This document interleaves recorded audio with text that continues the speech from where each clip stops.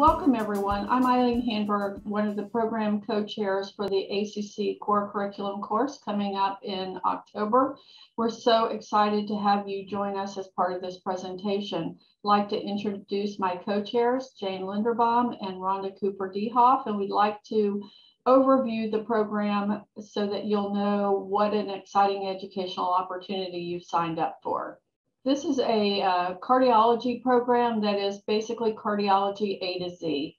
We are looking to provide up-to-date practice information to beginning practitioners. This is your first practice opportunity in cardiology.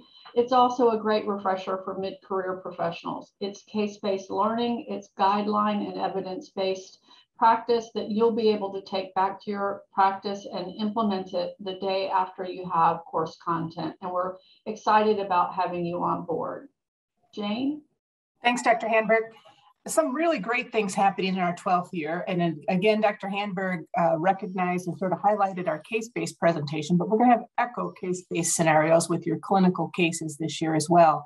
We'll talk about ischemic heart disease and most importantly, COVID-19 is a hot topic for all of us in the practice, and there's a keynote on uh, COVID-19, as well as access to all of the ACC's COVID resources uh, that you'll find very helpful in your practice after the program.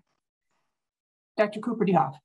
Hi, I just want to make sure everybody's aware that we have a really heavy load of pharmacology content that you'll see throughout the curriculum, um, whether it's interspersed in um, some of our physician clinicians presentations or um, presented by pharmacists who are more focused on pharmacology, but we do have ACPE approved credits for those who are licensed pharmacists, as well as we have approved credits for the pharmacology specific requirements for the nursing and ARNP um, licensure as well. So lots and lots of exciting, up to date um, pharmacology for you as well. And this year we'll also be going over in detail lots of the resources at the college. Remember, this is a tough year. Um, this course is now something that you can access in an asynchronous format. So you can refer back to it and you'll have access to the information from the course for some time thereafter. When we talk about ACC, there's webinars, there's apps, there's calculators, there's resources for you, your practice, your staff, and your patients. We'll show you where to find those things that you can actively use them in your practice when you return following the course.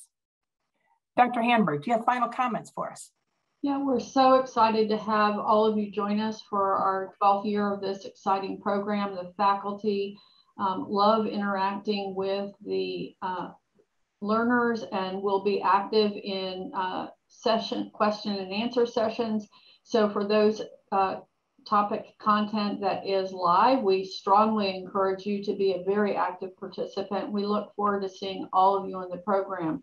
The program is currently well attended. There's over 200 folks signed up. So this is also an opportunity for you to network with uh, colleagues across the country. So welcome aboard. Look forward to seeing everybody in October.